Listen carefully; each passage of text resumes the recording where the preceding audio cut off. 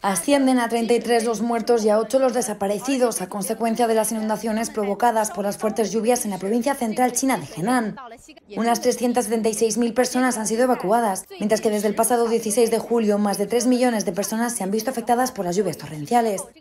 Hasta ahora la ciudad más afectada ha sido la capital provincial, Zhengzhou, que según la prensa local está retomando la normalidad de manera paulatina.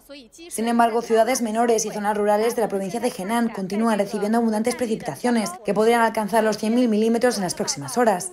La localidad de Anián ha solicitado a todos los trabajadores no relacionados con los servicios de rescate que permanezcan en sus casas y ha suspendido la red de transporte público.